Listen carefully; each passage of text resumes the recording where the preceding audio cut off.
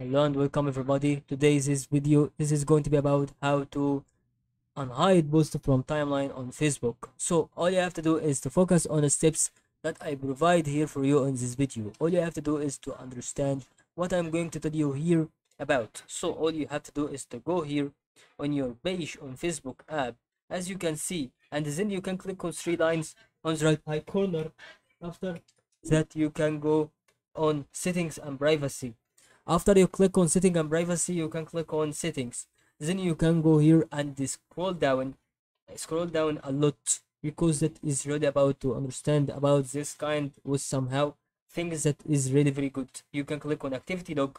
After you click on activity log right now you can go here and see what is going to be beyond your profile.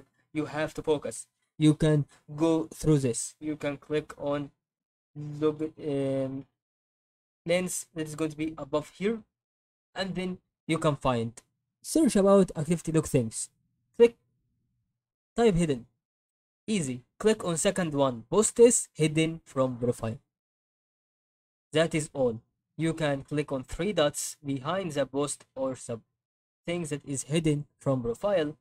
Then you can click on add to profile. Then you can return it back and go in again. Here it is. It could not be hidden anymore thank you for watching this video. Hope that could be helpful and good luck